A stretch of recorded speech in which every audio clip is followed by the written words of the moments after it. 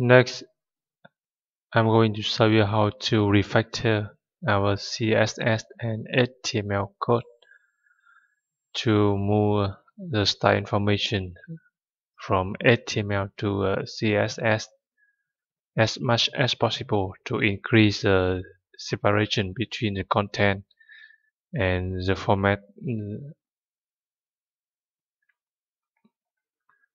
Back to our Eclipse IDE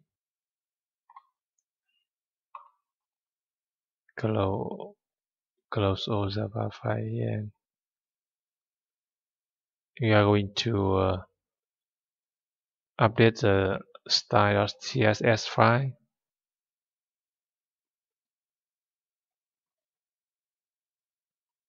to include uh, more CSS rules here and update the JSP page in the front end. Uh, let's start the server. When uh, updating the CSS and uh, JSP,